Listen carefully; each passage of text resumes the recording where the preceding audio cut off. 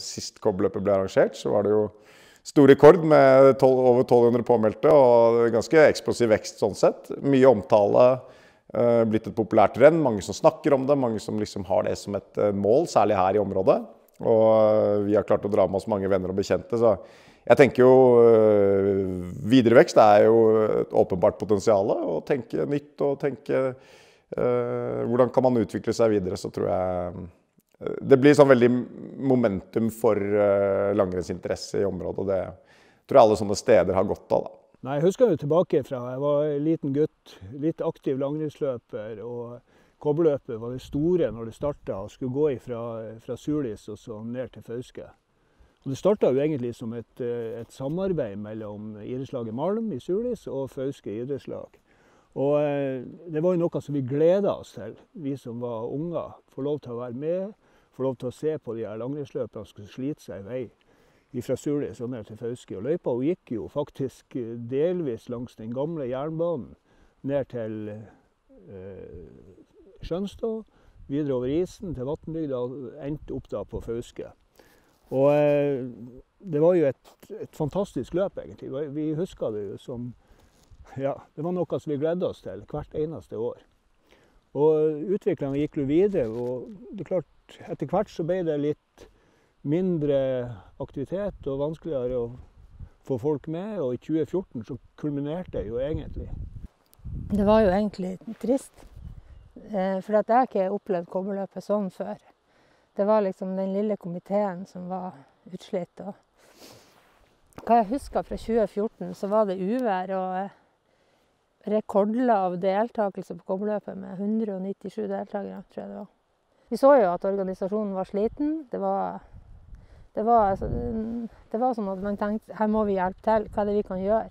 Det var aktører utenfra som hadde lyst til å drive kopperløpet, overta kopperløpet og ha det her i Sulestad, men at eh, befolkninga og vi her oppe måtte egentlig arrangere det. Så vi eh, gikk i hop, eh, tromma i hop en gjeng som da eh, møttes på C kafé. Bare for å prate om hva, hva kan vi gjøre for å hjelpe? Hva kan vi gjøre med kobberløpet? Nå må vi gå sammen og se om ikke vi klarer å få gjort noe ut av kobberløpet som faktisk er noe som vi er stolte av her oppe i Sulis. Vi måtte jo overbevise styret i Hjelm Malm om at jeg skjønner at de var slitne og at eh, det var forlokkende at andre kunne overta, men eh, vi fikk jo da muligheten til å vise, ta et år, vise om vi, vi fikk det til. Og det gjorde vi. Vi, eh, vi fikk til flere var 400 og noen deltakere, og så var det 500 i året etter der. Og så hadde jo et hårete mål om 1000 deltakere i 2018. Og eh, jeg var vel den eneste som ikke hadde arrangert skirenn. Så jeg, jeg, jeg, trodde jo på det. Jeg hadde jo et, et, eh, et, håp om at det skulle vi nå. Jeg ringte til Mona og sa at jeg syntes det var utrolig bra at de hadde satt seg nye mål. Og jeg visste jo at alternativet var i verste fall at det ble nedlagt. Og eh, det at de kom inn og tok tak i det, det var helt avgjørende for at eh, vi er der vi er i dag. I det hele tatt at løpet overlevde, altså. Og med de tradisjonene det løpet her har over, over nå 50 år, så var det utrolig flott at det skjedde. Vi måtte jo eh, ha nye samarbeidspartnere. For vi hadde én samarbeidspartner da som var SKS, Så vi, vi måtte jo ut og, og sanke samarbeidspartnere. Og vi er jo og Sandslett, vi for av gårde. Først så var vi i, eh, på Coop Nordland i Bodø og snakka med han, eh, Lars Arve og Monica. Så for vi til Vennberg. Han Ørjan og han Geir Vennberg i Sysselvika på Fauske. Og der også. Der, der klappa de hendene for at kobberløpet skulle tas, gjøres noe med. De var kjempeglade. Så det var den der positiviteten som vi møtte hos alle samarbeidspartnerne som gjorde at vi også fikk mer trua. Det handler jo om at noen tror på det du, du skal sette i gang. Nei, Det var jo en tilfeldighet som gjorde at jeg gjorde mer enn jeg hadde tenkt å gjøre. Og det var jo at jeg var på Svalbard i lag med han Robert Hermansen, som i mange år var sjef på Store Norske der oppe. Vi hadde en skutetur til Barentsburg, altså den russiske delen av Svalbard. Og når vi kom dit, så sier de at det er fire verdensmestere på ski her. Ja, de er russiske, sa vi.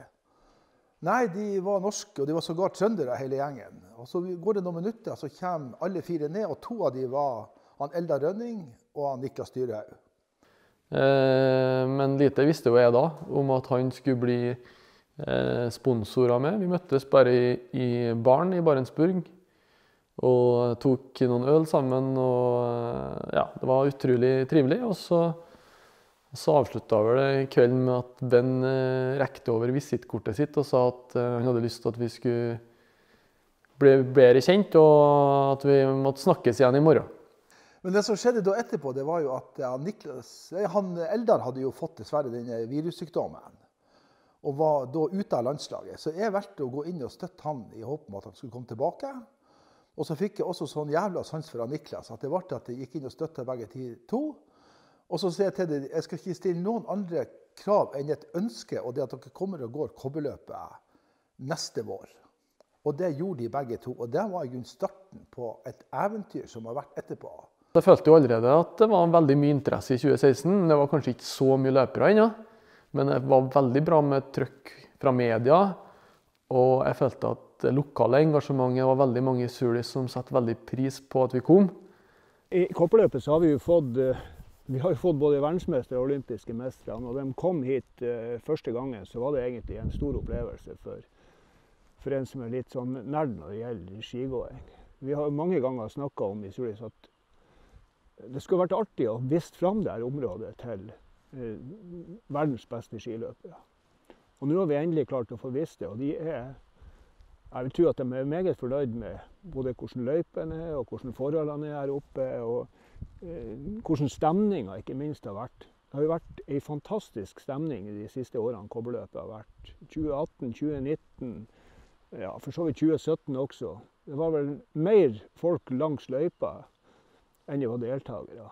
Jeg ble introdusert for et sted og et kultur og et samfunn som for meg, da, som kommer fra Røa i Oslo, var helt totalt ukjent. Uh, hvor jeg egentlig møter uh, det jeg er mest glad i, som er skiglede og kultur og aktivisering av barn og unge og samfunnet generelt, på en fantastisk arena i Eh, fjellandsbyen eh, i Sulitjelma. Og på en måte et, et skirenn som slo meg litt i bakken i forhold til omgivelser og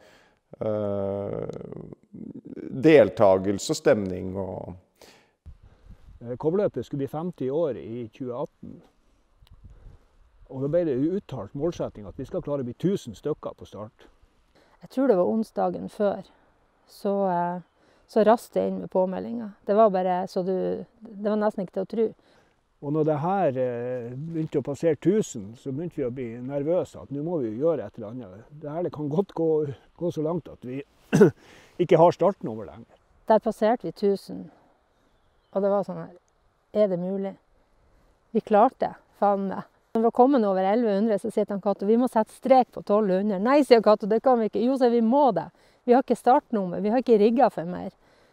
Og da måtte vi sette strek, og da hadde vi flere hunder på venteliste som ønska å gå. Det var, det var, magisk. Helt magisk. Det som var fantastisk, det var jo verdensmestere, det var olympiske mestere. Det var store navn fra tidligere. Altså Den blandinga du har av topp og bredde altså Det er jo mange mange flere de her toppløperne som går. og Nå var det 1200 sist vi hadde et ordentlig kobberløp før pandemien. Så, så er det klart vi er en helt annen divisjon. og alt rundt det har jo også vokst og blitt større. Og vi har fått sponsorer av meg som har bidratt utrolig aktivt. Ikke bare i form av penger, men i form av engasjement. Og, og, og liksom alle snakker positivt om løpet. Og Det som er artig, det er jo at nå er kobberløpet egentlig blitt et løp for, for ikke bare eh, gamle menn og, og, damer som ønsker å gå langt. Nå er det faktisk utvikla seg til å bli et løp hvor at familier er med, verdensmestere er med de som trener litt, er med, de som trener mye, er med. Så vi har fått egentlig hele den massen av folk som vi ønsker.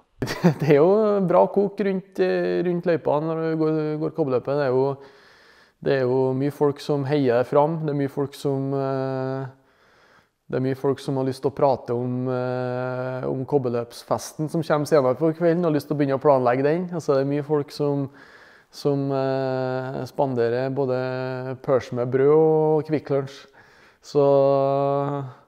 Og så er det noen som liker å kjøre scooter på sida av, av, løypa og trives, trives, best med det. Så det, Men det, det, viktigste er jo at det er et yrende folkeliv. da. Det er mye folk. Det er veldig mye folk i, i fjella her når kobberløpet går. Det er uh, rammer rundt kobberløpet som er annerledes i forhold til veldig mye annet jeg er med på. Uh, med omgivelser og med høye fjell og med vidder og med litt vær, selvfølgelig, som ikke vi møter i så stor grad i andre konkurranser. Men likevel jeg tror det vi blir mest glad av å kunne ta del i, det er den gleden som man merker at folk kjenner på da, rundt en sånn type arrangement. Og det er ikke, det er ikke gitt at det er det overalt. Det er veldig artig å se at de publikum og alle som har hytte inn gjennom Sulisfjellet, deltar på en sånn uh, flott måte. Og gjør at løpere, sånn som bl.a. Petter Northug sier, at det å gå gjennom Jakobsbakken her, det var jo som en Kollen-søndag. Altså, det var fantastisk med så mye publikum og glade folk og hornmusikk. og så klart det skaper jo stemning. Og har ikke vi hatt samarbeidspartnere, har vi ikke hatt noen å spille på, så har vi ikke klart det alene. Det, det går ikke an. Man må ha gode, gode samarbeidspartnere. Det er jo en helt spektakulær natur. Og Med unntak av en litt tøff start for en ikke topptrent fyr, så er jo løpet relativt på å si, lett, selv om det er langt for mange. Det er jo et enormt flott terreng å gå i. Og går du her på de beste dagene, så er det jo ei reise. Bjørn Dæhlie han var, han sa jo det var det beste Altså det flotteste Først sa han turen han hadde gått, men så retter han seg sjøl og så sier han det er det flotteste skirennet noen gang har gått. Og jeg kjenner han Bjørn faktisk bra godt etter hvert. og Han har ikke angra på den uttalelsen. Han står fortsatt for det. Det der var, Selv for han var det her helt eksepsjonelt. altså. Jeg tenker at en av de viktigste tingene som eh, man har gjort i IL Malm, som arrangerer kobberløpet, er at man har fått folk som er med som støttespillere, til å føle at det er deres skirenn også. Og det er det mange som kan eh, lære ut av, eh, ut av kobberløpet. Fordi at når du skal lage noe sammen med en samarbeidspartner, så går du etter pengeboka til vedkommende. Så får du én ting, det er penger. Og det er greit nok. Men eh, hvis du spør kan du hjelpes til, kan du bidra, så går det etter hjertet. Og det er mye, mye viktigere. Du får, ja, du får ofte også mer penger ut av det. Men det viktigste er at du lager et, et team som lager noe i lag. Og det er det som folk sier når de skal beskrive Mona og Tor Åge og veldig mange av de som er med i kobberløpet, at uh, det er inkluderende folk. Og den rausheten der er godt illustrert med samarbeidet med, med Fauske Sprint om eh, kobberløpsfesten. Fordi Det hadde ikke vært noen god idé om det skulle vært arrangert å bære folk fra Jakobsbakken og, og, og Sulitjelma. Eh, men når man gjør det sammen med gjengen på, eh, på Fauske, blir det plutselig masse større og mange flere kobberløpshjerter. Så det er virkelig flott å, å se. Og det er også som er fint. Jeg snakka med hun, eh, Maja i dag. Og Maja sier at eh, blant unge folk så snakker stadig flere om hvor kult de syns det er med kobberløp, og hvor artig de syns det er å, å, være, å, være, med. Og det er jo sånn som kobberløpet var bare for noen år siden. Så var det veldig mye godt voksne mannfolk. I dag ser du at eh, med den korte løypa så har det også blitt et familiearrangement. Og det er jo det som gjør at uh, Tove Mo Dyrhaug blir slått i bakken av den veksten som hun ser da hun kommer hit til eh, jubileumsarrangementet og opplever Når de sier hvor mange det var i fjor, og hvor mange det er i år, og hvor mange det er året for der, så blir det bare sånn What?! Og det er nettopp fordi at man har gjort en så god jobb på å få involvert folk. Og så, hun, eh, så må jeg fortelle historier om uh, hun Solvår, som på en måte er Hun er nesten sånn bilde på glede og stolthet blant de unge. Og Historien til, eh, til Sova som røyste seg på banketten, er jo om kompisen som hadde gått på skole i lag med henne på yngre trinn. Og som eh, jo var en rebell, og sånn som det er med rockere og unge folk som eh, finner sin vei og kanskje er stille i klassen og bråkete ute. og Jeg skal ikke legge for mye til om han, men det som skjer, er jo at han får jobb som logistikkansvarlig og skal liksom styre hele transportapparatet på en et såpass krevende skirenn som med 1200 deltakere over det som det var det året. Og så er han bare sjef. Og så ble hun Sovår så stolt. Så at du hører at hun er rørt og forteller om han kompisen som plutselig er den som leder hele transportetaten, og som også bruker dette selvfølgelig senere i livet og jobben sin, så, så er det liksom Det er sånn du bygger ting. Når du får med unge folk og klare å få til en sånn vekst, og når du har folk som, hun, som hos som får dette fortalt. For litt av historien bak kobberløpet er de gode historiene. Litt av historien er selve historien. Og det er viktig. Det er viktig for kobberløpets fremtid også, at man forteller sin historie. Eh, det er mye gode minner både før og etter kobberløpet. Vi har hatt tradisjon for å ha det gøy både underveis og etterpå. Uh, det beste minnet er nok åpenbart når de drasser inn en knallsterk russisk bjørn, og jeg fortsatt klarer å legge han i bakken ut i, bokstavlig, ikke bokstavelig talt, men tar han i denne runden og, og, på en måte internasjonal konkurranse på et sted som dette, det, det, er jo veldig gøy å vinne det løpet da. var gøy. Og så har vi hatt noen hyggelige banketter, både du og jeg, vet du, så vi har kosa oss. Nå er jo kobbeløpet blitt et veldig kjent turrenn i, i hele Norge. Og litt utafor Norge òg. Det har blitt satt på, på kartet og, og et eh, reisemål som jeg tror veldig mange skiløpere rundt omkring i landet kunne tenkt seg godt. Da. Det er jo det er jo en veldig artig og, og god utvikling. Så vi, er, vi har jo eh, samtaler med de her langrennsløperne når de er med her oppe. Eh, og det var faktisk han Niklas Dyrhaug som sa til meg en gang at eh, man må huske på at ikke bare ta med bare enere. Og tenk på de. Man må også tenke på den store massen av, langrennsløpere eller mosjonister og trimmere som ønsker å gå på ski. Og at man lager et løp for de også. At kobberløpet blir liksom en sånn greie både for de beste og også for familiene. Og det er noe som vi har tatt til oss. Jeg, jo, jeg, jo med, jeg, har jo alltid noen ideer, men jeg tenker jo at det, det er jo ikke noe grunn til at uh, kobberløpet ikke skal bli vist på Eller kan kunne bli vist direkte på norsk TV. Det vil jo være en fantastisk reklame for for Sulis og, og løpet. Med Se for deg finvær og, og Suliskongen i bakgrunnen og, og god stemning inntil, inn til, inn til Tjorvi. Det har jo kommet til å være fantastisk, fantastisk skirenn. Så, så, det er jo noe vi må, vi må tenke på.